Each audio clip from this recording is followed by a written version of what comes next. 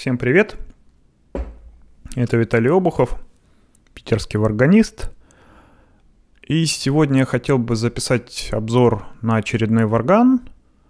Я такие обзоры делаю не сильно часто, потому что я играю мелодии. В принципе, варганы для мелодий на рынке, конечно, есть, но всякие интересные встречаются, появляются. Не сильно часто. А тут вот какая история, значит, произошла на днях. Если помните, в прошлом году я делал обзор на Монхарпа Дмитрия Бабаева, ну, потому что у меня их достаточное количество штук, я на них играю.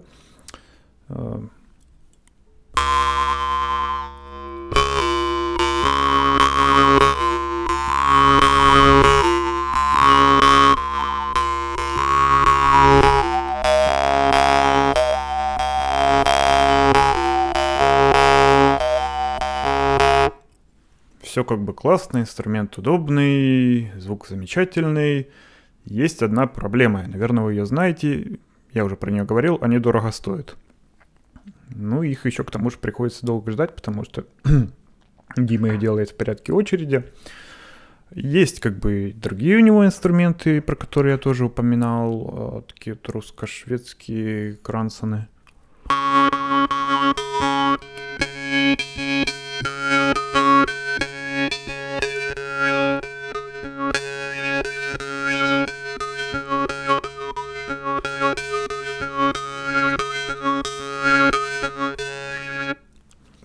Тоже инструмент как бы с хорошим звуком, удобный, но у него как бы средняя цена. В принципе, для новичков он...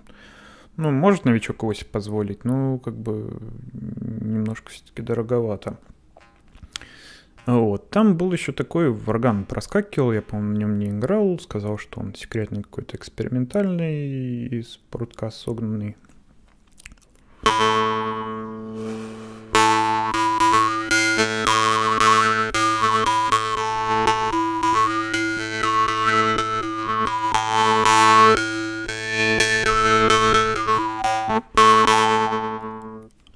Ну, звук у него средненький, хоть и мелодичный, то есть там есть призвуки. Вот. Какая штука случилась? Случилась штука, что этот орган рассекретили. А, собственно, вот что получилось. Чехольчик в комплекте вроде как. Ну, чехольчик это брусочек просто со шнурком. Это совсем все примитивно, чтобы это было дешевле.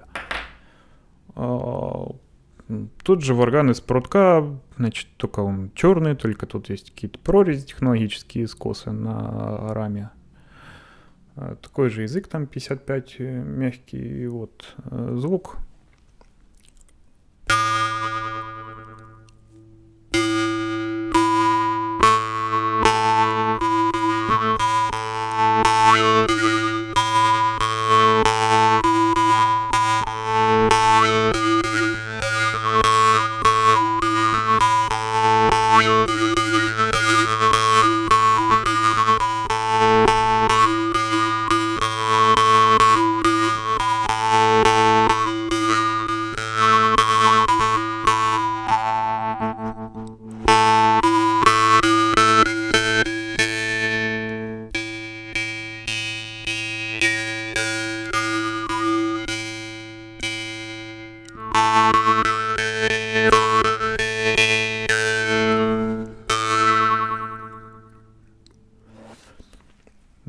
итоге мы имеем как бы варган с очень неплохим звуком.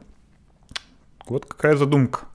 Задумка сделать доступный мелодический массовый инструмент, чтобы его себе могли позволить новички и продолжающие, а, чтобы их как бы было быстро и дешево делать. И в принципе мы такой инструмент вроде как значит, в копилку того, что уже есть, как бы на рынке получили. А, вот, ну, как бы да, тут сразу напрашивается, что значит, чер, черный варган, а, значит, из прутка это клон вот этого, но на самом деле, конечно, это не так, потому что а, да, они по габаритам похожи, но не одинаковые. У Вахитовского чуть помягче рама, у этого чуть, чуть-чуть совсем пожестче рама, у Ахитова чуть-чуть поменьше, ой, помягче язычок, у этого чуть-чуть пожестче. Но это зависит от экземпляра к экземпляру.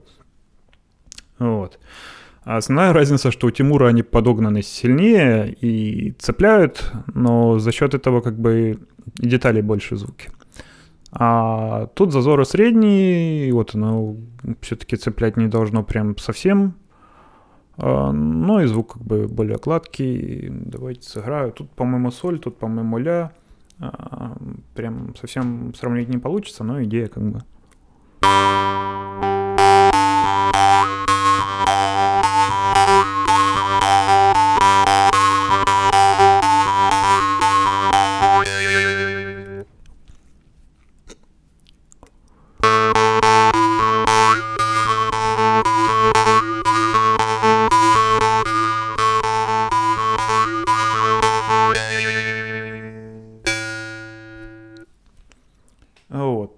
Для меня они по сумме характеристик похожи, потому что если играть на сцене, я бы выбрал, например, Бабаевский, ну, потому что если волнуешься и что-то такое, то э, его тяжелее там зажать, чтобы он цокал. Если записываться, я, может быть, выбрал Тимуровский в домашних условиях. Вот. А по цене они, значит, э, получается, Бабаевский Дима Варганы чуть дороже, чем Тимура. Правда, если сравнивать то, что у него напрямую заказывать, а это в магазине. Я не знаю, что будет как бы дальше, и будут ли они в магазине. А, по тональностям соль диез ля, иногда соль, иногда еще ля диез, но как бы обычно не более. Потому что пытаемся делать фарганы из одного и того же материала и из одного и того же размера. То есть прям на поток.